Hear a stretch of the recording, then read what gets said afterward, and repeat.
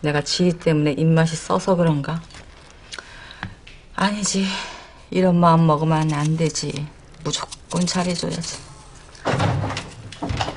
예, 지희야. 예, 이 과일 좀 먹어라. 사과가 아주 달다. 몸에도 좋고. 저 좀 나갔다 올게요. 어디 가는데? 다녀오겠습니다. 예, 잠깐만. 너는 시애미가 응? 먹을 거를 챙겨줘도 가타부타 말이 없고 어디 가냐고 물어도 대답도 없고 뭐니? 내가 그렇게 웃어? 말을 해봐봐. 아까 그 귀한 약을 다 쏟아버리고 따박따박 말 대답할 때는 언제고 지금은 왜 꿀먹은 벙어리야? 아, 엄마 왜 그래? 언니 울잖아.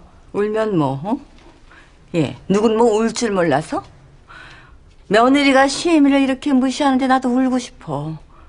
내가 너 약이며 먹을 거 뭐 이렇게 챙겨주는 것도 다 너 생각해서 그러는 건데. 어? 너 어떻게 고맙다는 말은 못할 망정. 화난 사람처럼 사람을 무시하는 거야? 어? 막말로 내가 너 얼른 가서 애 낳으라고 스트레스 준 것도 아닌데. 그런 게 다 스트레스죠. 뭐? 아, 언니, 언니까지 왜 이래요? 아가씨 모르면 가만히 있어요. 어머니, 약도 그렇고 음식도 그렇고 제가 불편하면 그게 스트레스예요. 앞으로 신경 쓰지 말아주세요. 다녀오겠습니다. 조심해, 조심해. 저런 살 사람처럼? 언니 잘 웃고 너무너무 착했었는데? 착하기는 시애미가 해다 바친 약 몰래 쏟아버리는 내가 착한 거야? 약을 버려? 비싼 거라며. 돈도 돈이지만 괘씸하잖아. 어?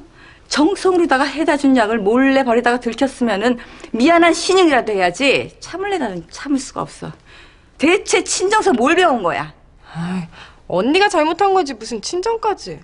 원래 며느리가 잘못하면 친정 엄마가 욕 먹는 거야. 그러니까 너도 시집 가서 잘해. 나 욕 안 먹이려면 치.